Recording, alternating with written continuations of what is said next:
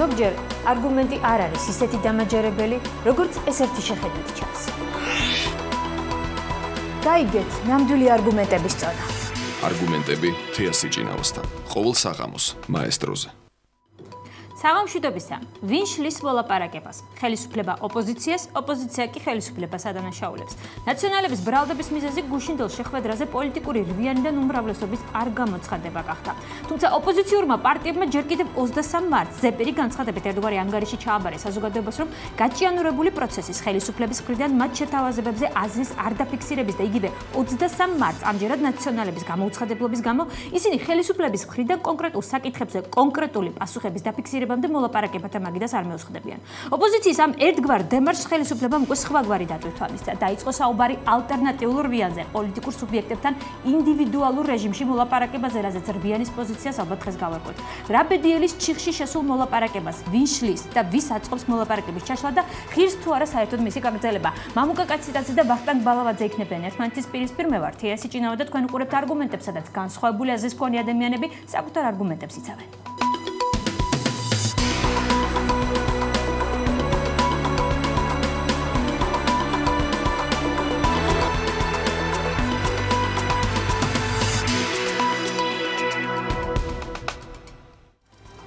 მას ასე თქვენ უყურებთ არგუმენტებზე ჩვენი სტუდიის სტუმრები არიან ნაციონალური მოძრაობიდან საქართველოს პარლამენტის წევრი ვახტანგ ბალავაძე, ახალი მემარჯვენეების ლიდერი, პოლიტიკური რვიანის ერთ-ერთი წევრი და მოლაპარაკებაში მონაწილე სუბიექტი ბატონი მამუკა კაციტაძე. საღამოშიდობისა ბატონებო, ძალიან დიდი მადლობა იმისთვის, რომ მოგწანდით და იღებ ჩვენს გადაცემაში მონაწილეობას. მოგესალმებით. ჯერ კიდევ გუშინ ჩვენ შევპირდით მაყურებელს სწორედ ამ თემას განვიხილავთ დღეს და ეს იქნებოდა ჩვენი გადაცემის თავარი თემა. იქიდან გამომდინარე რომ პოლიტიკურ რვიანთან და ამოლაპარაკებასთან დაკავშირებით საკმაოდ საინტერესოდ ვითარდება მოვლენები და ყველა საინტერესებს რა ბედი ელის მოლაპარაკებას რომელზედაც ორივე მხარე საუბრობს რომ უკვე ჩიხშია შესული. პირველ რიგში ისმის ურთიერთ ბრალდებები ვის ვინ შლის ამ მოლაპარაკებათა პროცესს. აი გუშინ მაგალითად ხელისუფლებამ ღიად განაცხადა რომ პასუხისგებლობა ამ საკითხებთან დაკავშირებით ოპოზიციის ესე ვთქვათ სინდისია ბატონო ვახტა. აა, კითხვა. იბადი გამარჯობათ, მოგესალმებით, მე ვესალმებით თქვენს ტელემაყურებელს. რაც შეეხება მოლაპარაკებებს და ის თუ ვინ არის დესტრუქციულად განწყობილი, ალბათ საზოგადოება კარგად ნახავს. დავიწყოთ თავიდან, ანუ ქრონოლოგიურად თუ შეიძლება ისე ვთქვათ, მივყვეთ. ის რომ სურვილი ხელისუფლების ამაში მონაწილეობის მე მგონი დადასტურდა არაერთხელ და მე მინდა გაგახსენოთ, რომ მანამდეც წინა არჩევნებისთვის იყო შექმნილი ანალოგიური თუ შეიძლება ითქვას სამუშაო ჯგუფი, რომელიც იყო ხელისუფლების ინიციატივით შექმნილი. სურვილი გამოიხატება ხოლმე იმაში, რომ მონაწილეობს ამ შემთხვევაში ხელისუფლება. რა თქმა უნდა, არა, მონაწილეობა არის პირველ რიგში მნიშვნელოვანი და ეს არ ნიშნავს იმას, რომ საბოლოო ჯამში ჩვენ ყველაფერზე შევთანხმდებით. თავარი არის პროცესი და პროცესის დროს ჩვენ გარკვეული შეთანხმებებზე უნდა მივიდეთ, გარკვეულ საკითხებთან რაღაც საკითხებზე შეთანხმდეთ, რაღაც საკითხებზე ვერ შეთანხმდეთ. მაგალითისთვის გეტყვით, პირდაპირ დღეს იყო ჩვენი ხრინ ამაზე გაცხადდა ჩვენთვის მიუღებელი არის რომ არ არსებობდეს მაჟორიტარები რასაც გარკვეულწილად ოპოზიცია ითხოვდა და ჩვენ თვლით რომ ყველა მუნიციპალიტეტში ანუ ყველა რეგიონში უნდა არსებობდეს მაჟორიტარი რომელიც წარმოადგენს ამ მუნიციპალიტეტს უმაღლეს საკანონმდებლო ორგანოში. ამ საკითხზე შემიძლია გითხრათ რომ ჩვენი პრინციპული ხედვა არის რომ უნდა იყვნენ მაჟორიტარები. მე ვერ ხვდები უბრალოდ რა არგუმენტაცია შეიძლება უნდა არსებობდეს იმისი რომ არაირჩიოს მუნიციპალიტეტი ანუ რაიონმა არაირჩიოს თავისი მაჟორიტარი უმაღლეს საკანონმდებლო ორგანოში ეს ჩვენთვის არის პრინციპული საკითხი და ვთვლით რომ ეს საკითხი უნდა მაგრამ მიუხედავად ამისა ჩვენ არ გვიტყვამს რომ მოდი ჩავშალოთ მოლაპარაკებები. ანუ არ გადაგვიწყვეტია რადგან ამ საკითხზე ვერ თავხდებით რომ სხვა საკითხებზე არ ვიმუშაოთ. ჩვენ და ოპოზიცია შლის ამის გამო მოლაპარაკებას რომ მაჟორიტარული სისტემა არსურს ბატონო ჩვენ ჩვენ თვლით რომ არის საკითხები რაზეც თავშივე ეს მე მგონი ყველა მხარე ამას აცნობიერებდა რაღაც საკითხები რაზეც ჩვენ ეს შევთანხმდებით, არის საკითხები, რაც ჩვენ შეგვიძლია რომ მიმჯელოთ და გარკვეულ რაღაც კონსენსუსამდე მივიდეთ. ამაზეა საუბარი. ეს საკითხი ჩვენთვის არის ძალიან პრინციპული საკითხი, ძალიან მნიშვნელოვანი და მე ვთვლი რომ საზოგადოებისაც ძალიან მნიშვნელოვანი არის ეს საკითხი, რომ რეგიონების შართულობა იყოს მაქსიმალური და დანარჩენი საკითხები ეს იყო. სისტემებზე იყოს არჩევნო სიებზე იყოს საუბარი. სანამ ამ სხვა საკითხებზე გადავიდოდეთ მაჟორიტარები არ დაუწყია ოპოზიციას საუბარი ამ შეხვედრაზე.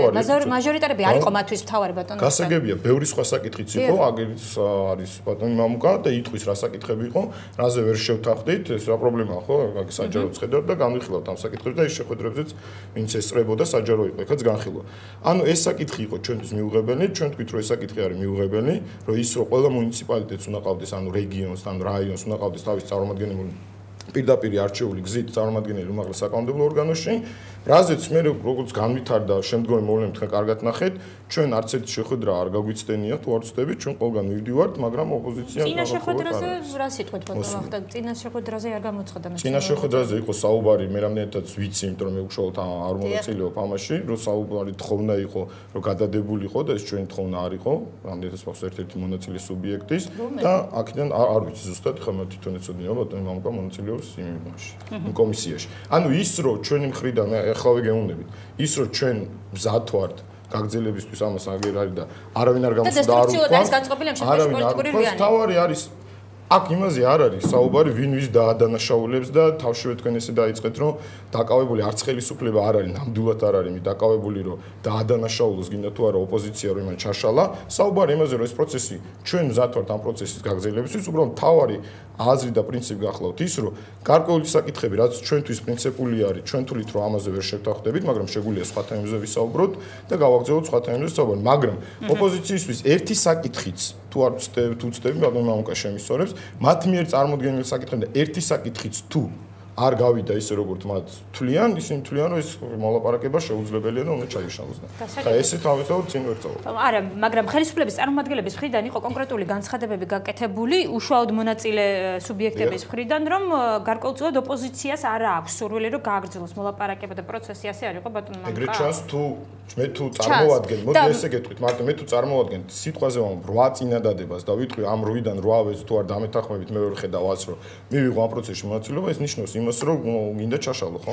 ანუ ოპოზიციურ ძალას, რომელსაც სურს რა შეიცვალოს ქვეყანაში საარჩევნო გარემო, იმიტომ რომ როგორც ისინი აცხადებენ, არ ტარდება სამართლიანი არჩევნები, თქვენ ფიქრობთ, რომ მას ეხლა არ სურს ეს გარემო შეიცვალოს და მოლაპარაკების მაგიდიდან გაიქცევა? გარემოს შეცვლაზე როდესაც ვსაუბრობთ, მოდი ისე ვთქვა, რა რა რა სახისრულებებზე ვლაპარაკობთ, ხო? თუ ჩვენ გვინდა რომ შეცვალოთ საარჩევნო კოდექსი ისე რომ მოვარგოთ ჩვენ თავს, რა თქმა უნდა, ამაზე შეთანხმებაზე ვერ მივდივართ, მაგრამ თუ ჩვენ გვაქვს და ვსაუბრობთ კონკრეტულ ხარვეზებზე, რა ხარვეზებიც არსებობს ამის გამოსწორება ფაზაზე აქ შეიძლება იყოს სხვადასხვა მეთოდი ამ ამ გზის ამ გამოსწორების, მაგრამ შედეგი უნდა დადგეს ერთ და იგივე, ანუ მიზანი ერთი არის, ხო, ამაზე საუბარი.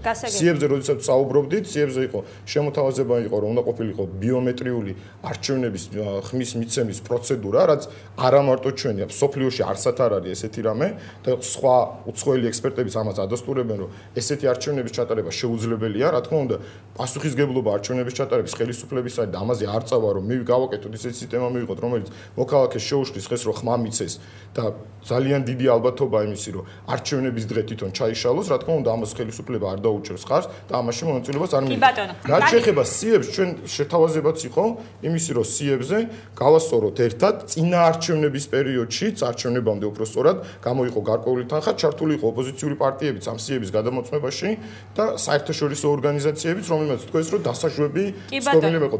ჩვენ თვლით რომ მეტად არის გამოსასწორებელი პიგი ბატონო ვიმუშავ ვიმუშაოთ, მაგრამ ბიომეტრიულზე როცა ვსაუბრობთ, ჩვენ თulit რომ ამაში არის გარკვეული საფრთხე. მივალ ბიომეტრიამდე ბატონო ბამკა, მანამდე მაინტერესებს. კი, აუცილებლად შეიძლება რატო გარბიხართ მოლაპარაკებათა მაგიდიდან. კაი ბატონო, მივესალმები უპირველეს ყოვლისა ტელემაყურებელს და დასაწყისშივე მინდა აღვნიშნო ერთი რამ, რომ ძალიან ცუდია, რომ დღეს აქ ბრძანდება ბატონი ვახტანგი და არ ბრძანდება არც ერთი ის წარმომადგენელი ნაციონალური მოძრაობიდან, რომელიც ოფიციალურად არის მოლაპარაკების მონაწილე. ამას იმიტომ ვამბობ, მე წინააღმდეგი კი არა ვარ ბატონი ვახტანგის აქ ყოფნის. მისასაც მათ დასახელის სრუტფილიში არის ყოფებიან ბატონო მამუკა. არა, მე ზუსტად ვიცი, რომ იმ სამიდან ორი დღეს თბილისში იმყოფება, მაგრამ ამას არ აქვს მნიშვნელობა. რა მნიშვნელობა აქვს ახლა ამას? ისინი არ მოვიდნენ, ესე იგი არ სურდათ თუ მოვიდნენ. იმის გამო, ამის გამო რა მნიშვნელობა აქვს? ამას იმიტომ ვამბობ, ამას იმიტომ ვამბობ, რომ როდესაც ვკამათობთ ან საუბრობთ რაღაც თემაზე, საჭირო არის რომ ადამიანი იყოს თავიდან ბოლომდე ჩახედილი კონკრეტულ საქმეში.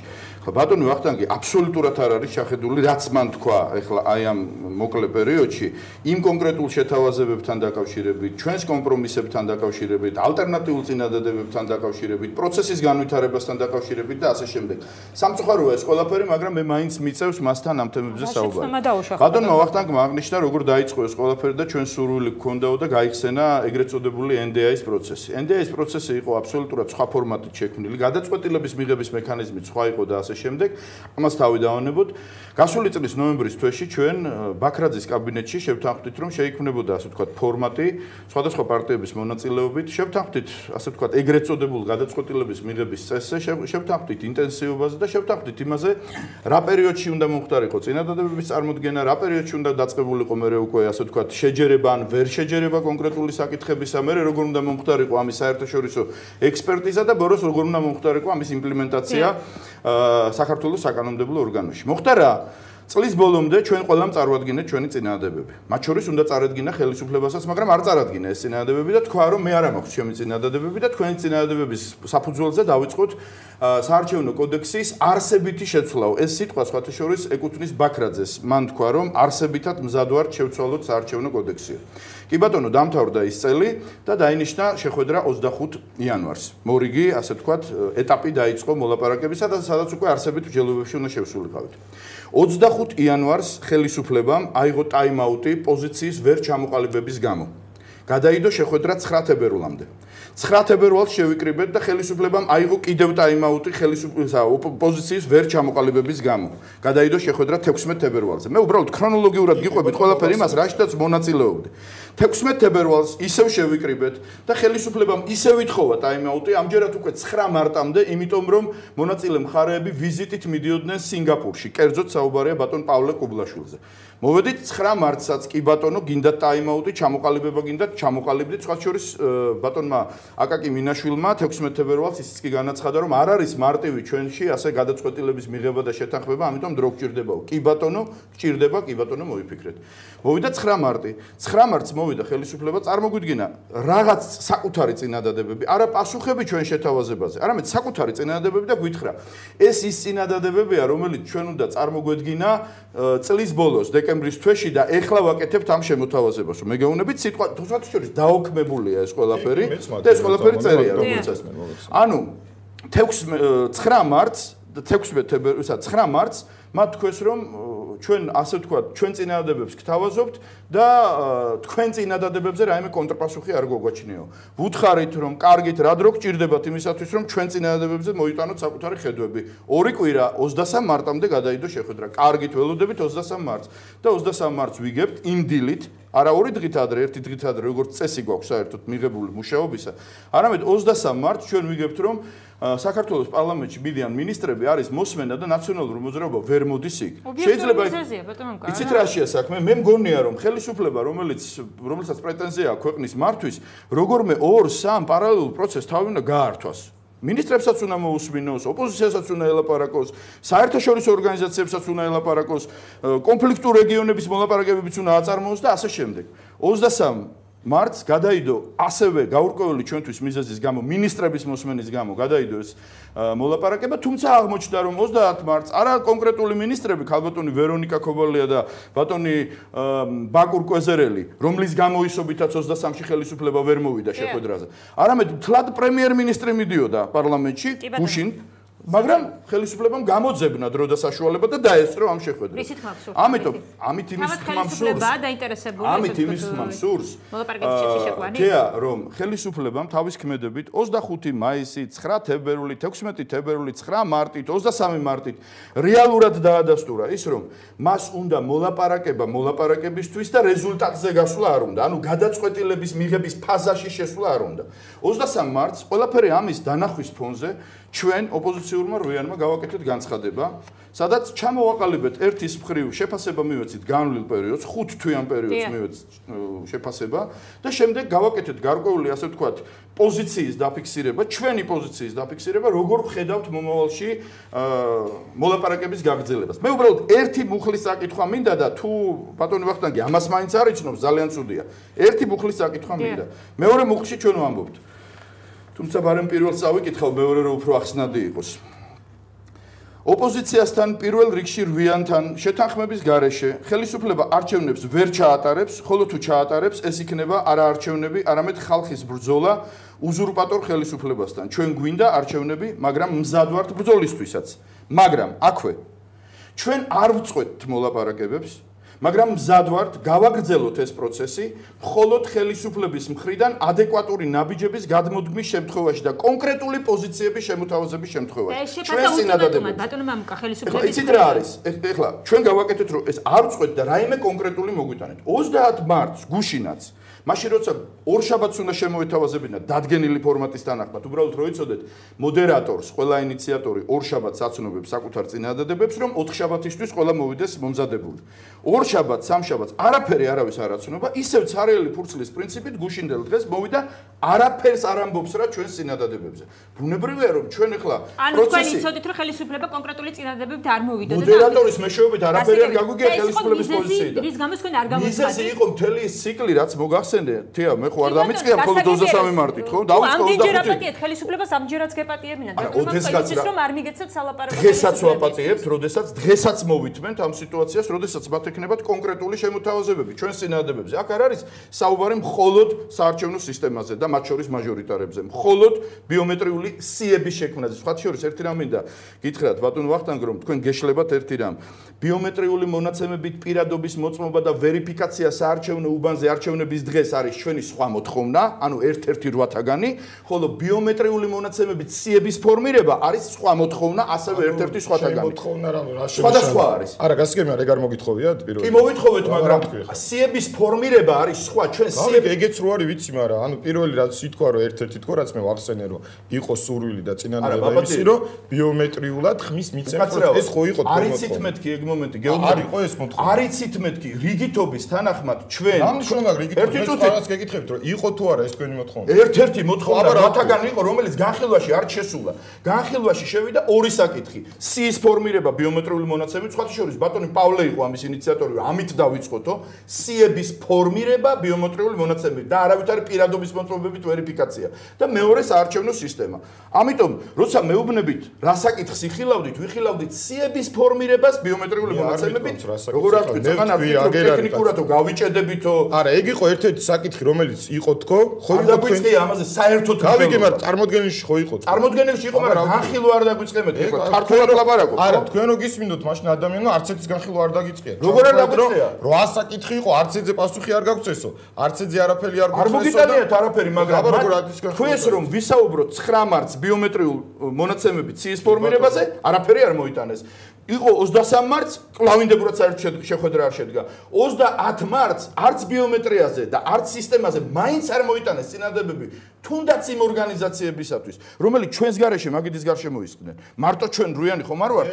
სხვებიც ხომ არიან? კი ბატონო წინადადებას რაც შეეხება რაც შეეხება წინადადებს კი ბატონო მოგახსენებთ რაც შეეხება წინადადებებს ეს წინადადები თქვენ ახსენეთ რომ წარმოადგენს მაგრამ ეს წინადადები არ იყო ის წინადადებები ჩვენი პასუხი არის. ჩვენი პასუხი რომელიც არ იყო ეს იყო ჩვენი ხედვა თუნდაც სისტემასთან დაკავშირებით თუნდაც სიების გადამოწმება როგორ უნდა მოხდარიყო. ეხლა აქ არ ამაქვს თან წამოღებული, მე რამდენიც ვიცი, თქვენთვისაც გაგაცნეს ეს წინადადებები შემიძლია მოგცეთ. ის არ არის წინადადებები, პასუხები ჩვენ წინადადებებს. გავიგე, მაგრამ გავიგე, ერთი წუთი. ჩვენი თავარი ამოცანა რა არის იქ, ხო? თქვენ ჯერთი ძალიან კარგი არის პროცესი. როგორც აღნიშნეთ. ჩვენი მთავარი ამოცანა არის შედეგი. თავარი ამბავი არის, რომ შედეგზე ვართ ყველა ორიენტირებული მე მგონი. მაგრამ ჩვენ ლაპარაკობთ ჩვენ არა, არა, ერთი წუთი. როგორ არის? ჩვენ რო სურვილი არ გქონდეს ამისი, ნამდვილად არავის ვალდებულება არ აქვს იმის რომ რაღაც პროცესში ჩაერთოს, რომელშიც თulis რო თავიდანვე ის პროცესი დამთავრდება, არ არ დამთავრდება შედეგიანად. ხო? ამაზე ჩვენ ამის გათვლა არ გქონდა ნამდვილად მერწმუნეთ და ეს დასტურდება ძალიან ბევრი რამით, ეხლა მე საშუალება მექნება და გეტყვით, კი ბატონო, მოგახსენეთ. ერთი რომ დავზუსტ და დავაზუსტოთ, იმიტომ რომ ძალიან კარგი იყო ქრონოლოგიურად, დიდი მადლობა რომ მითხარით და მე არ მწოდნია რა. კარგია რომ მე მაინც გაგაგებინეთ. ხო, არა, ძალიან გამიხარდა რომ გავიგე რომ თურმე რა პროცესში მონაწილეობთ თქვენ და მაყურებლისთვის მეგონი საინტერესო იქნებოდა რომ ზუსტად ჩამოთვალეთ როგორ ხდებოდა. ეს აქ მოსულამდე რომ გაგიგოთ ადგილზე პარტიაში სტუდია იქნებოდა. მე მეცნეთ რომ ნამდვილად ვიცი და მეტი ვიცი უფრო მოლაპარაკებების შესახებ, რასაც ანუ მე მოლაპარაკებებში მონაწილეობდა, ნაკლები ვიცი და თქვენ არ მონაწილეობდა მეტი. ან არ ამბობ, რა ვიცი, ან არ ამბობ, არ ვიცი, არ ვიცი. რა საუბარია გავერა იმითი რა მე რა აქ იმისთვის არა ვარ ბატონო მამუკა ხა მე მოსული რომ თქვენ გეჯიბროთ ხა მე რა ვიცი და თქვენ რა იცით ამაში აქ საუბარი ამაზე არის. კი ამ ამ თემაზე ვკამოთობ და არა იმაზე ხა თქვენ პროცესში რამდენად ჩართული ხარ ან მე რამდენად ჩართული საერთოდ საზოგადოების წარმოგედგენა ჩართულობა კომპეტენტურობის მადამასტრირებელია ხო? თავარი არის პოზიცია პოზიცია არის თქვენი პოზიცია რაც თქვენ საუბრობთ მე შემიძლია მოგახსენოთ ჩვენი პოზიცია რა რაც შეეხება იმას, რომ არ იყო წარმოქმნილი, რაც არ არის სიმართლე და ვალდებულება იმის, მოგონ როცა ჩვენ საუბრობთ, თქვენ წარმოვადგინეთ წარმოვადგინეთ ჩვენი ის რო ჩვენ პოზიცია არ დაგვიფიქსირებთ ის რომ თქვენ პოზიცია დავაფიქსირეთ არ მოიტანეთ. არის სიმართლე თუ არ არის სიმართლე ჩვენი პოზიციები თქვენ ცნობილი ყო ის გადმოგეცათ მე რამდენად ვიცი არა ოფიციალურად კონკრეტულად 25-ში მე მოგიტანეთ თუ არ ვიცი 25 მარტს. 25 უნდა მოეტანოთ გაიგეთ თუ არა არ ვიცი. უნდა მოეტანოთ თუ არა. 25 მარტს თქვენ ცნობილი არის თუ არა გადმოგცეთ თუ არა არ მოუწია ხო? თქვენი პოზიცია ჩვენ შეხედულებებს ჩვენ ჩვენ შეხედულებებს სისტემასთან დაკავშირებით და სხვა დანარჩენ იმაზე რომ ეს არის ორდღიანი საჩივრების დღე სამდგენამდე უნდა გაიზარდოს, სამწამდე პატრიოტიზმება უნდა მიეცეთ და ასე შემდეგ. ეს არის ჩვენი პოზიცია, ჩვენი პოზიცია, მაგრამ ჩვენ ხედვებზე ხო გაქვს, ჩვენ დააწყებთ ჩვენი პოზიცია. ჩვენ ხედვებზე თქვენი პოზიცია არ უნდა გაგვაცნოთ. ჩვენი პოზიცია, ეს უნდა ჩვენ როცა წარმოადგენთ ჩვენი პოზიცია, აქ როგორც უნდა განვითარებულიყო ლოგიკურად მოვლენა, განვითარებულიყო ისე, რომ სისტემაზე როდესაც საუბრობ, თქვენ წარმოადგენთ თქვენებური სისტემის ხედვა როგორ უნდა. ჩვენეული ხედვა. ნაციონალურმა მოძრაობამ წარმოადგენთ თავისი შესაბამისად თუ არის თუ არ გასხედით და იბდა. არ ჩავყოთ თქვენ რას ფიქრობთ? ეხლა რომ თქვენ ჩამოგითვალეთ. არა, მოდით ესე რომ ბატონო ხარი არის რა. ეს ნიშნავს პასუხს იმას, რაც ფიქრობთ მასზე. ამას რომ ერთ ხარეს აქვს თავის პოზიცია გარკვეულ საკითხთან, მოდი მოსახლეობის რომ ნათელი იყოს.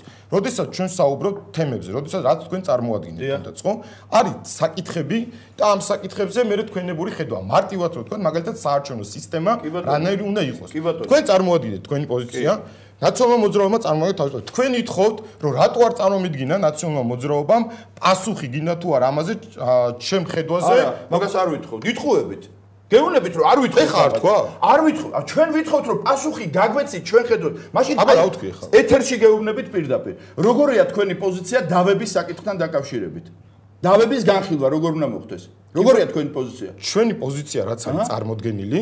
არ არის საერთოდ წარმოდგენილი. კი, კი, წარმოდგენილი. მოგაწვით თქო იმას, თუ თქო არ აგაქვს ნანახი, რაც მოგეცით ჩვენ. არავის არ აქვს ნანახი და ამირან გულში მგეროდაო, ამირან გულში მგეროდაო, არ ვიცი. უნდა წავამიღო ეს დოკუმენტი, რა თქვენ წამოგეგოთ მე აბა აქ იმაზე ხوار მოდიოდეთ, ვერ გავიგეთ. ერთი წუთით რა, მე მეგონა რა თქვენ უფრო ბევრად ინფორმირებული ყავით. ხო, მიტანილი ეს დოკუმენტი ბატონო. ეს დოკუმენტი რაზეც ბატონი საუბრობს, იმასთან დაკავშირებით.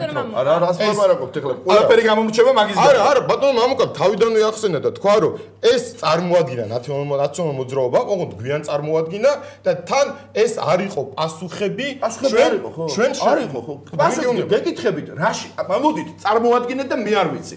რაში მდგომარეობს დავებთან დაკავშირებით თქვენი ინიციატივა?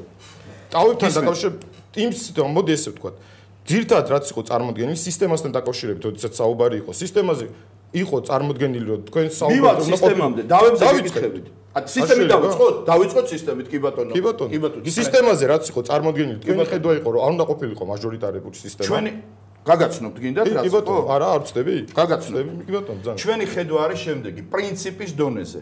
ყველა პარტიამ ვინც იღებს არჩევნებში მონაწილეობას მანდატი მიიღოს იმდენი პარლამენტში რამდენი პროცენტი ამომრჩევლისაც მას დაუჭერს მხარს. ეს არის პრინციპი. ამ პრინციპის მისაღწევად ჩვენ წარმოვადგინეთ პროპორციული და რეგიონულ პროპორციული სიების სინთეზი. იქვე ვთქვით, შემოგთავაზეთ ნებისმიერი ვარიანტი, თუ გნებავთ მაჟორიტარული, ოღონდ სადაც რამდენ ხმასაც მიიღებ ამომრჩევლის მხრიდან იმდენი პროცენტი მანდატი მიიღო პარლამენტში. ეხლა მე გეტყვით კონკრეტულად მანდატიანი თუ არის საოლქო როგორ უნდა მიიღო? გეტყვით როგორც უნდა მიიღოთ. ლონდონური ვარიანტი თქვენთვის ცნობილია? არა, არ არის ცნობილი. ეს არის პრეფერენციების წესით, სადაც უახლოვდება იმ მონაცემს, რამდენი პროცენტიც მიიღე, იმდენი მანდატი მიიღო. მეორე, გერმანული ვოდიშვი, ერთად. როდესაც ჩვენ საუბრობთ, დავიღოთ მარტივად, გასაგებია რომ ლანჩხუთის მუნიციპალიტეტი. ხო, კი ბატონო. არ არის მაჟორიტარული სისტემა. პასუხობთ, პასუხობთ, პასუხობთ კონკრეტულად. კი ბატონო, გისმენთ. ვენეციის კომისიის მოთხოვნა, სხვა მოთხოვნებთან ერთად არის არის რომ დეპუტატის მანდატის წონა მეორე დეპუტატის მანდატის წონასთან უნდა იყოს თანაბარი მაქსიმუმ 10-15%-იანი ცდომილებით. რაც ნიშნავს ლანჩხუთის რაიონში სიტყვაზე თუ არის 40000 ამომრჩეველი და დაუშვათ ყაზბეგის რაიონში თუ არის 3000 ამომრჩეველი ამ ორ მუნიციპალიტეტს არ უნდა ხავდეს თითო-თითო წარმომადგენელი მხოლოდ. ძალიან წუხართ, ეხლა ჩვენ დეტალურად განვიხილავთ ამ საკითხებს. ამისთვის თქვენ გაგვიყვანეთ საშუალება. 100-დან მეტი ვიდრე ყაზბეგი. ამას ამბობს ვენეციის კომისია და ჩვენ ვეთანხმებით მას. მასთან დაკავშირებით. ეხლა რა შეიძლება ზუსტად ეს ნიშნავს იმას, რომ შეიძლება გაიზარდოს ესე ვთქვათ დეპუტატების რაოდენობა. არა, არა. ამას გეუბნებით რომ არიცით მეთქი და რა გაგაკეთოთ? არა, რა სისტემასაც არის ზრდება. ერთი წუთით. არის ზრდება.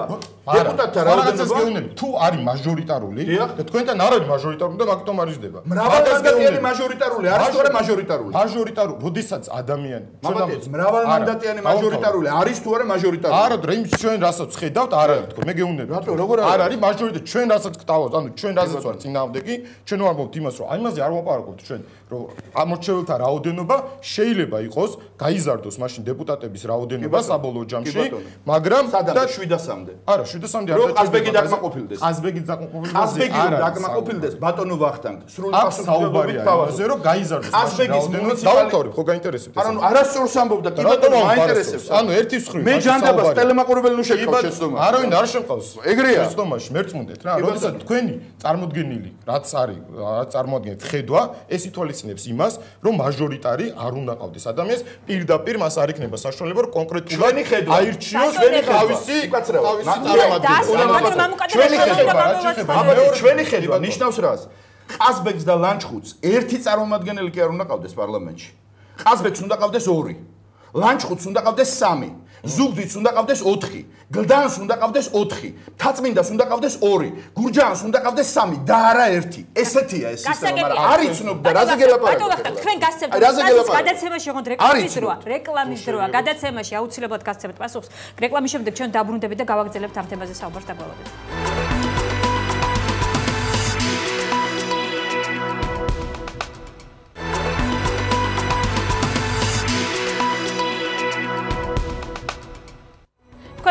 არგუმენტებს ჩვენი სტუდიის სტუმრები არიან ვახტანგ ბალავაძე, მამუკა კაციწა და ჩვენ ძალიან დეტალურად განვიხილავთ ბატონებო თითოეულ საკითხს. მერწმუნეთ მაყურებელიც ცოტა დაბნეულიც ჩანს წამყვაზე რო აღარაფერი ვთქვა, მაგრამ რამდენიმე საკითხი არის, რომელიც ჩვენ უნდა გავარკვიოთ აქ გადაცემის მსვლელობის დროს. პირველი, ხელისუფლება გამოვიდა ინიციატივით და განცხადება გააკეთა, რომ ინდივიდუალურ რეჟიმში უნდა გადავიდეს მოლაპარაკების პროცესი. რას ნიშნავს ინდივიდუალურ რეჟიმში გადავიდეს მოლაპარაკების პროცესი ბატონო? აბა თეა ჩაგეკითხებით. ანუ ანუ ინდივიდუალურ რეჟიმში გადასვლა ნიშნავს, რომ ის ფორმატი, რომელიც არსებობდა, აღარ იქნება? აინტერესებს. თუ თქვენი მხრიდან, ანუ საუბარია იმაზე, რომ თუ ჩვენ შევხვდებით პირველ რიგში ულტიმატუმის სახით, ანუ რატო ვიმეორებ, მე გეტყვით, საუბარი არ იქნება, გავიგეთ და ერთი წინადადება მითხარით, სადაც ულტიმატუმია რა, ერთი წინადადება. ერთი წინადადება და აუცილებლად მოგახსენეთ. კი ბატონო, აუცილებლად გაგაჩუქებთ მე რემან. დიდი მადლობა. ანუ პირველი რაც მნიშვნელოვანი არის ის, რომ ხელისუფლება მზად არის იმისთვის, რომ მოლაპარაკება გაგრძელდეს, უბრალოდ თავშევე უნდა ვთქვა და შევთანხმდეთ იმაზე. ასეთი რეჟიმიც აქამდე არსებობდა. ამ რეჟიმში შესაძლებელია თუ ოპოზიციის სურვილი იქნება იმისი, რომ გაგრძელდეს ეს მოლაპარაკება, არა ულტიმატუმის ენით, არა იმითი მოთხოვნით, რომ როგორც აქამდე იყო საუბარი, რომ ჩვენ თქვით, რომ არის ხედვა, ოპოზიციის ხედვა, ოპოზიცია არის უკმაყოფილო იმაზე, რომ არ გაეცა ნაციონალური მოძრაობიდან პასუხი მათ ხედვებს კონკრეტულად და სანაცვლოდ ნაციონალურ მოძრაობამ დადო თავისი ხედვა გარკვეულ საკითხებთან დაკავშირებით. ამაზე მოხდეს პასუხი, თუნდაც ოპოზიციის იმ გარკვეულ საკითხებს ვეთანხმებით, არ ვეთანხმებით. ამაზე ხო პრობლემა არ ვიცი, ეს მე მგონია, რომ დიალოგის რეჟიმში უფრო შესაძლებელია, რომ გაიცეს იქ პასუხი, რომ რაზე ვეთანხმებით, რაზე არ შესაბამ თავარი არის ერთი რა. ფაქტია, რომ ეს ადამიანები პასუხს ერილებენ, ბატონო. გავიგე, მაგრამ როდესაც ჩვენ საუბრობთ იმაზე, რომ აა ჩვენი წინადადებაზე გინდა თუ არა გითხარი პასუხი და თქვენს მერე მოვისმენ და მერე განვიხილოთ არ არის არა ასე არ გითქვამს ჩვენ ვახტანგ. დეკემბერში უნდა წარმოგედგინოთ თქვენი წინადადებები კარგი არ წარმოადგენ არ წარმოგიდგენიათ ვახტანგ კარგი ხო თქვენზე პასუხი არ ამაქვს არა თქვენი წინადადებები წარმოადგენთ 9 მარტს მაგრამ არა უშავს. 9 მარტს რო წარმოადგენთ თქვენი წინადადებები. ჩვენ წინადადებებზე პასუხი რო უნდა წარმოგედგინათ 25 იანვარს 9 თებერვალს 16 თებერვალს 9 მარტს და დღესაც რო არა გაქვს წარმოდგენილი ამას გეუბნებით. თუ მეუბნები რომ გაქვს წარმოდგენილი კონკრეტული კითხვა წეგან და გიშვი დავებზე. არა ხო?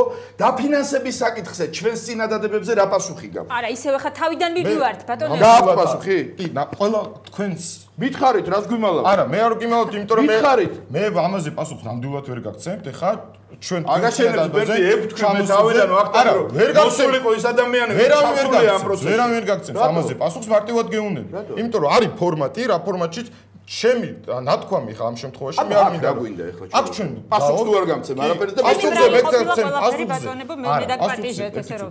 პასუხის გაცემა რაც შეიძლება მე აქ იმისთვის არ მოსურავ თქვენს კონკრეტულ ასე თქვა კითხვებზე, კონკრეტულ კითხვებზე ანუ იმას მე მაგისტრის მოვედი რომ ყველა კითხვაზე გიპასუხო ვახტანგ. ყველა კითხვაზე გიპასუხე. აბსოლუტურად ძალიან კარგია. ძალიან კარგია. ეგ კარგი მეც მინდოდა რომ შეგან დამენახა რა. არა, რა უნდა დაინახოთ ეხლა? ამ ფორმატის რაც ამ ფორმატის რეჟიმში ვერ მოხერხდა რომ ვერ მოხერხდა რომ ის რაღაც გარკვეულ საკითხებზე მოგელაპარაკეთ. არ გამოდები. პასუხი ვახტა. პასუხი არის ძალიან მარტივი. დაფინანსების საკითხზე რა პასუხი გაქვს ჩვენს კითხვაზე? გეუნებით თქო, ძალიან მარტივია თქო რა. თქვენ თუ გაეცანით იმას რაც იყო წარმოდგენილი. იქ არაფერი არ წერია დაფინანსებაზე. რაც იყო წარმოდგენილი, იმ საკითხზე. არაფერი არ წერია დაფინანსებაზე. თქვენს მიერ ნამდვილად შემდეგ გადაცემაში ან საშუალება იქნება ან პირადად მე გადმო მოგცემთ ამას, მოგართმევთ, რაც იყო წარმოქმნილი, თქვენს კითხვაზე პასუხი კი არის.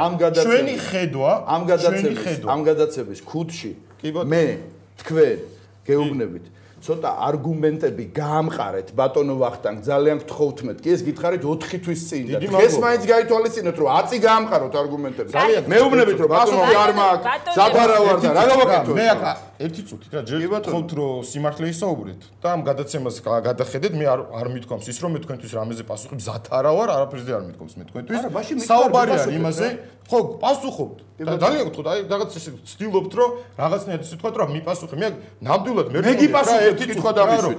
იმისთვის თქვენ კითხვებზე საპასუხოდ და ესეთ ინტონაციით არ მოსულა დამდგარ. კარგი, ეს მე მიპასუხე. უკაცრავად კითხვები დამოსა და ინტონაციით. ესეთ კითხვებზე პასუხი არ ყოფილა. პასუხი უნდა გაეცეს საზოგადოებაში რა კითხვებიც არსებობს. ამასთან დაკავშირებით ამ ფორმატის თუ ძალიან გაინტერესებს რომ ინიციატორის თუ ეგ გაინტერესებს რომ ჩაშლის ვინ იყო ამისთვის ვარ მე და თქვენ კითხვებზე სხვა არის და მე არ მოსულა მე და თქვენ საზოგადოება გავწე პასუხი. იბატონო, რეჟიმში მოლაპარაკების იბატონო, ძემთ პასუხს მაგასთან დაკავშირებით. თუ გაინტერესებთ რომ კითხვას თუ იმას მისვენთ რომ რატო ჩაიშალა და არის თუ არა ხელისუფლება პასუხობთ თქო რომ ხელისუფლება მოლაპარაკებისთვისაც მზად იყო თავიდან თქვენ წარმოადგენთ წინადადები რომელზეც ითხოვთ თქვენ პასუხს რომ გაგვეცეთ ჩვენ პასუხი თუ პასუხს არ გაგვს არ არ გავგცემთ პასუხს ეს იმას ნიშნავს რომ თქვენ არ გინდათ თანხმობა ეს არის თქვენ კომენტარებში მოусმინეთ ხამას რომ ანდა ნებისმიერი რაც გაცხადდა ნებისმიერი საუბარი იყო იმაზე რომ ჩვენ გვაქვს ჩვენ წინადადება ამას თუ არ დაეთანხმებით ჩვენ მაშინ არ ვაპირებ ამაზე საუბარი. ეს არის ოფიციალური განცხადება რომელსაც ხელისუფლებამ გავიგე ხელისუფლებამ წარმოადგინა ოფიციალური პოზიცია. იმ საკითხებზე რაც არის დაწყებული ჩამოთვლილი რაც იყო ძირითადი წარმოადგენდა სისტემაზე და სიებზე. არის ძირითადი. ხო, ერთ-ერთი ძირითადი, ერთ-ერთი ერთ-ერთი საკითხი არის მათ შორის და იქ სისტემაზეც იყო მე მგონი, საუბარი თუ კარგად წაიკითხე. რომელთაც გაუარესდა ის შემოთავაზება, რა ჩვენ გითხარით. ხო, მე მაგით მაგით თქვით, რომ არ წარმოუდგენთ რა თვლით, რომ თქვენ თვლით, რომ ეს წინადადება თქვენთვის მიუღებელია. იმას არ არის მიუღებელი. ეს არის ვენეციის კომისიისთვის მიუღებელი. ვენეციის კომისიისთვის მიუღებელი არ არის, რომ მაჟორიტარი ყავდეს არა, მიუღებელია ის, რომ არათანაბარი წონადობის მანდატები იყოს. არაწონადობის, ანარწონადობას რაც შეიძლება თქო, აქ არის შეიძლება სხვანაირადაც ამის გადაჭრა. რამდენი ამორჩეულია ვახტა? აქ ამ საკითხის გადაჭრა შეიძლებოდა სხვანაირად, თუმცა ამორჩეულთა რაოდენობაზე მიაბა გარკვეული მაჟორიტარია. თანახმა ქართველებზე, თანახმა მე პირადად თანახმობ. რომ ესე არა მე პირადად ეთლა ხამუკა და ვახტანგი ხო არ ლაპარაკობენ აქ საუბრობს ორი პოლიტიკური პარე ეს ეს მოლაპარაკების საკითხია კი ანუ თქვენ თანახმახართ იმაზე რომ ამომრჩეველთა რაოდენობას მიებას მაჟორიტარი კი დიდი მადლობა. პასუხი მივიღე პასუხი დიდი მადლობა რა კითხვაზე პასუხს ვერ მივიღებთ ამ გადაცემაში ფიზიკურად შეუძლებელია. ფიზიკურად შეუძლებელია. მე ძალიან მიხარია რომ ოპოზიციამ ამ გადაცემაში ერთი პასუხი მიიღო ხელისუფლებას და შეიძლება ინდივიდუალურ მოლაპარაკებას მუნიციპალიტეტს უნდა ყავდეს მაჟორიტარი ეგ არის ერთად როგორ გამოდის? ძალიან კარგად როგორ გამოდის? ძალიან კარგად ყაზბეგში არის 3000 ამომრჩეველი. თუ თანაბარ რაოდენობას ეკნება თანაბარ რაოდენობას უნდა იყოს ზღვარი თქვა რაღაცა რომ ამისი ქვემოთ ამისი ძალიან ბატონებო გადაცემას მაჟორიტარულ სისტემას ვერ დავუთმობ ამ შემთხვევაში. ანუ მაჟორიტარი უნდა იყოს ყველა მუნიციპალიტეტი. მე ახლა იცი რა, მეუხვე, მეუხვე და მაინც იქ მიხვედი. არა, მეუხვე, მეუხვე რა გეუბნები. შენ უარყოფ ესე იგი რომ თანაბარი წონა ქონდეს მანდატებს. უარყოფ? თანახმა ხარ ინდივიდუალურ მონაწილეობა, თანახმა ხარ ინდივიდუალურ რეჟიმში მიიღოთ მონაწილეობა. ყველა რეჟიმში, ყველა რეჟიმში. იმ რეჟიმში რომელიც აქამდე მუშაობდა იმ რეჟიმში რასაც ინდივიდუალური ქვია, რაღაც სხვა ფორმატით შეიძლება მოგონებული იქნას და ეხლა ფანტაზიის უნარი ყველას გვაქვს. ახალი მემარჯვენეები და პოლიტიკური რვიანი. თელურიანი სახელით აცხადებს? პოლიტიკური რვიანი თანახმა მიიღოს მონაწილეობა რომელიც შედეგზე იქნება ორიენტირებული კონკრეტულ დროსა და ვადებში. გასაგებია. ანუ იმ ვადების რევიზირებას არ მოახდენთ რაც ჩვენ თავიდან ერთად შევთანხმდით ყველა რომ მაისის ბოლოს ან ხო უნდა ითქვას რაღაცაზე. ან არა უნდა ითქვას რაღაცაზე. ოღონდ ისე არა რომ იცი რა მე პასუხს ვერ გეუბნები მე რე გეტყვი. ის მე უნდა დამთავრდეს მაისში რომ საზოგადოება მიწოდეს ისევ ერთ-ერთი ქუდიდან ჩემსავე სიტყვებს ვიტყვი რაღაცაზე უნდა შევთანხმდეთ რაღაცაზე ვერ უნდა შევთანხმდეთ. მაგრამ ის რომ გაურკვევლობა დარჩეს ეს გამორიცხული. კი ბატონო. არა ბატონო ვახტანგ თქვენ გადაცემის გადაცემაში რეკლამის დრო რეკლამის შემდეგ გაწყობს თუ არა ხელისუფლებას ესეთი დამოკიდებულება ოპოზიციის მხრიდან მოლაპარაკებასთან დაკავშირებით გავურკვევთ გადაცემის დასწრულ ნაწილში დაგველოდებით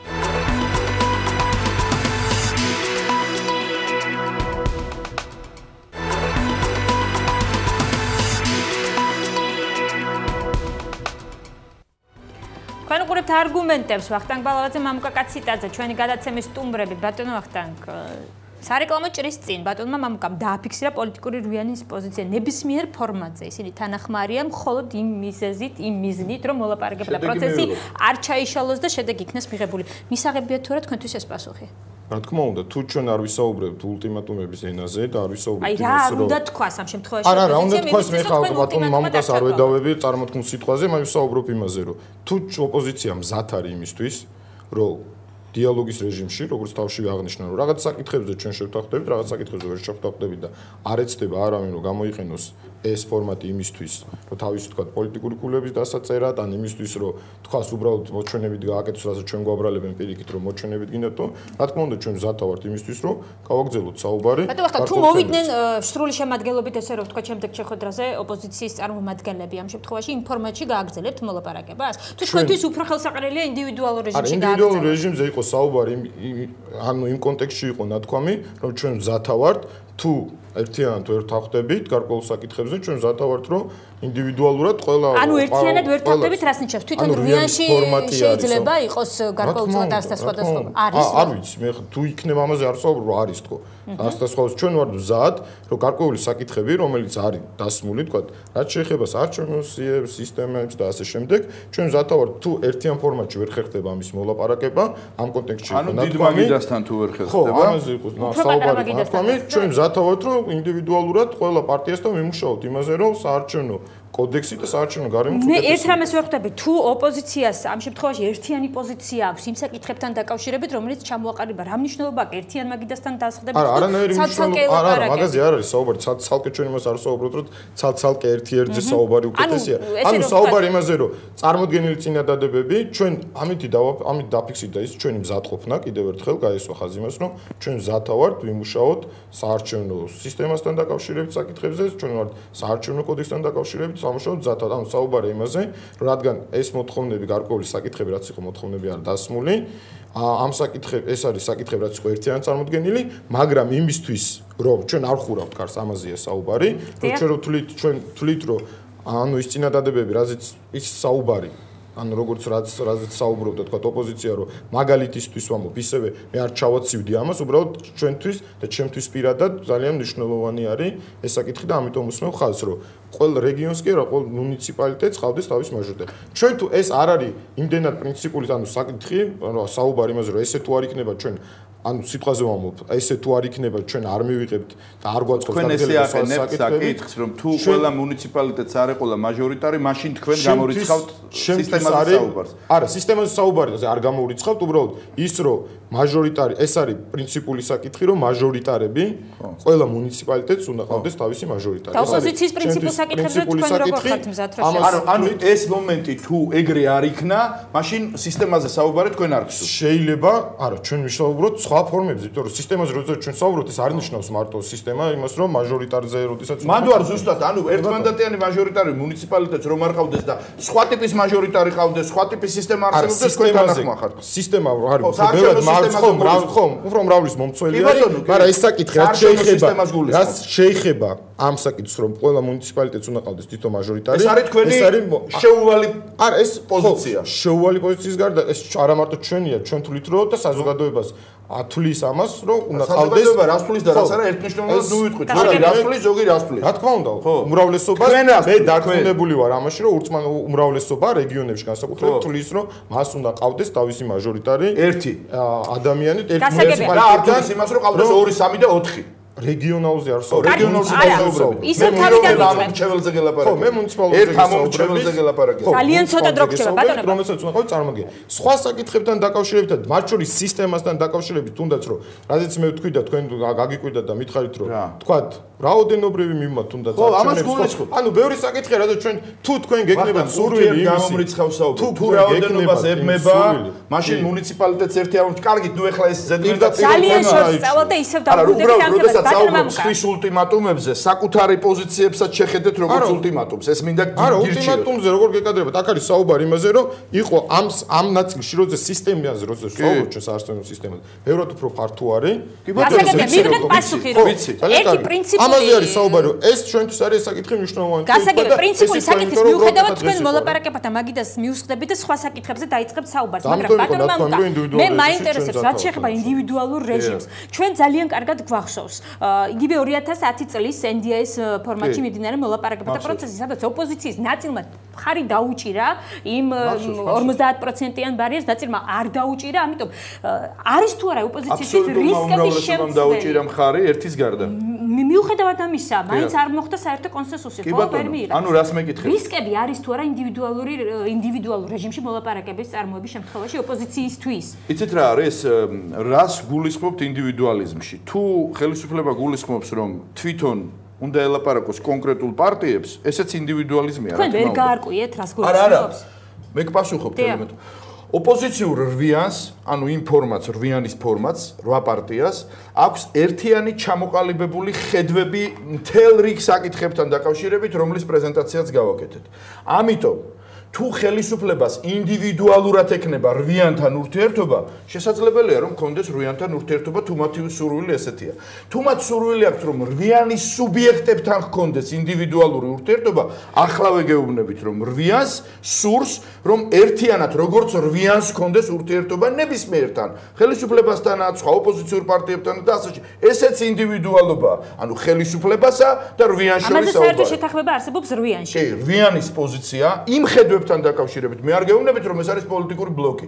საარჩევნო თემებთან დაკავშირებით რვიანის პოზიცია არის ერთიანი და ჩვენ მზად ვართ ინდივიდუალურ რეჟიმში რვიანმა და ვინმე სხვამ. ნაციონალურმა მოძრაობამ, რა ვიცი, მრეწველებმა, ეროვნულ დემოკრატებმა, ჩვენ თვითონ და ასე შემდეგ, თუ ექნებათ სურვილი, კი ბატონო, გვექნება ეს მომენტი. ჩვენ კოლეგიალობას ვიცავთ, ჩვენში არ არის აზრთა სხვადასხვაობა შინაარსობრივ საკითხებთან დაკავშირებით, აქედან გამომდინარე, ჩვენ დამი ინდივიდუალობა გვესმის. ანუ ახალი მემარჯვენეები, ცალკე ქრისტიან დემოკრატები, ცალკე რესპუბლიკელები არ დასწრებით ამ შემთხვევაში. არა, არ დავსწრებით ესე ნუ ამბობთ ისა, თია, იცით რა? ეხლა ადამიანს რო უთხრა, ეხლა მე მაგალითად ვახტანგს რო უთხრა სიტყვაზე, რომ იცი მე გელაპარაკები ეხლა ხუთი ორგანიზაციის სახელით. არ დამელაპარაკება თუ იმ ხუთ სახელით. სწორედ ამას გულისხმობ, ანუ მხოლოდ პარტიის სახელით არის საუბრებთ, არამედ ისაუბრებთ პოლიტიკური სახელით. გვაქვს იმის პოლიტიკური ნება და მზაობა, რომ კოლექტიურად გესაუბროთ, რადგანაც ერთი გვაქვს პოზიცია. თუ მოხდა და იქ რა სხვადასხვაობა ხო პოზიციებში, რაც დღევანდელ დღემდე ელემენტარულად ამის ალბათობა 0-თან მიახლოებულია, მაშინ ბუნებრივია თქვენ გეკნებათ ინდივიდუალურად მუშაობის შესაძლებლობა. გასაგებია, როგორც მე გადაცემის ბოლოს მაგრამ ჩვენ თუ ერთიანი გვაქვს პოზიცია, ხელოვნურად რატო უნდა დაგვიწყოთ ცალ-ცალკე ლაპარაკი, როცა ერთიანი გვაქვს? მე შემიძლია თუ არა ვთქვა, რომ მოლაპარაკება და პროცესი დასრულებული არ არის და ის გაგრძელდება დასკვნის სახით. მაინტერესებს ჩვენი მხრიდან დასრულებული არ არის. არც ერთ ჩვენი მხრიდან, რა თქმა უნდა, ჩვენი მხრიდანაც არის. და ეს ჩვენ ოფიციალურად თქვით ჩვენს ჩვენს განცხადებაში 23 მარტს. რატომ ახთან? მოლაპარაკება ამ საკითხებთან დაკავშირებით ჩვენ მხრიდან არ არის დასრულებული. ჩვენ ვამბობთ იმას, რომ თუ ანუ გაგძელდება და როგორც ბატონო ამკა საუბრობს, რომ მზად არიან ისინი, რომ სხვა საკითხებზეც ვისაუბროთ და არ საუბრობთ ყველაფერზე ვისაუბროთ. ულტიმატუმი ისინიც რომ ეს თუ არ იქნება, მაშინ ჩვენ რაღაცა დაზეპირებული გაქვს. კარგი, უნდა გაითვალისწინოთ როგორც ბატონო ამკა. თქვენი გამოგონებაა. უკაცრავად თე არა, ესა ვახტანგ დავით ბაქრაძის კაბინეტში, როდესაც დაიწყო ეს პროცესი 10 ნოემბერს, ჩვენ დავთქვით, რომ მომდევნო შეხვედრა იქნებოდა 17 ნოემბერს. 16 11 ნოემბერს გამოვიდა ქვეყნის პრეზიდენტი, თქვენი პარტიის თავმჯდომარე და თქვა, რომ ერთმანდატიან მაჟორიტარულ ოლქებს ყველა მუნიციპალიტეტში ჩვენ არ დაუშვებთ. ეხლა უბრალოდ გეკითხები, თუ შეგიძლია ერთ წუთი დაივიწყე რომ ნაციონალი ხარ. არის თუ არა ეს ულტიმატუმი? ულტიმატუმი რომ არის თუ არა ამას არ დაუშვებ ჩვენ. ესე იგი თქვენი პოზიციაა და ჩვენი ულტიმატუმია? აი ულტიმატუმი რა არის? ეგრე იყოს, კარგი. არა, ულტიმატუმი რას არის? იცით მე გაგიხსნით რა.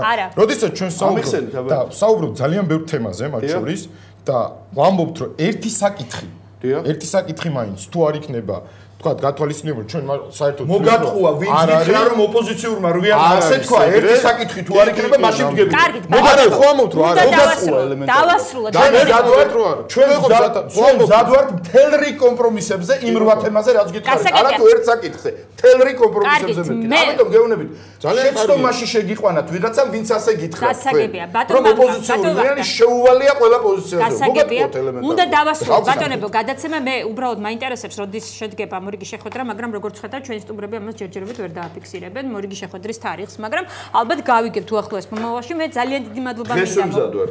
კონკრეტული პოზიციების არსებობის შემთხვევაში დღეს ვემზადვართ. გასაგებია.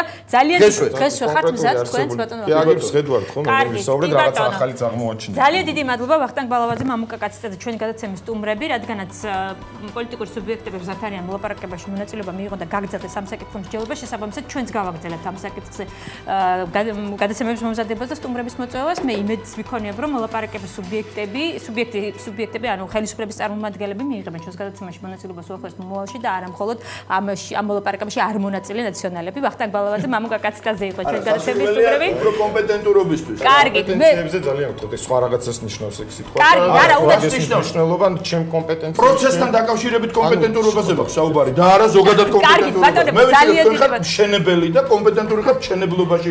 პოლიტიკაში ხართ კომპეტენტური, მაგრამ საარჩევნო საკითხებში თქვენზე მეტად კომპეტენტურია ბატონი პავლე კუბლაშვილი, ბატონი მინაშვილი, ბატონი მელაძე, სხვათა შორის დღეს ბატონი პეტრეცი, სხვათა შორის საინტერესო პეტრე პავლობა დაიწყო რაღაც ნაციონალურ მოძრაობაში საარჩევნო. რა პეტრე პავლობა? გუშინ პავლე კუბლაშვილი ამბობდა დღეს პეტრეცის კარგი ჩვენი ფრაქციის კარგი, გასაგებია. ძალიან დიდი მადლობა ზუსტად 9 საათზე თქვენ გელოდებათ მაესტროს ახალი ამბები მაკაცინცაძესთან ერთად 10 საათზე პირდაპირ საუბარი და ეკაბერძის სტუმრები ხნებიან. გიორგი ტულღუში, პაატა ზაქარიაშვილი მე ხვალ 8 საათამდე გემშვიდობებით Давид Напандис.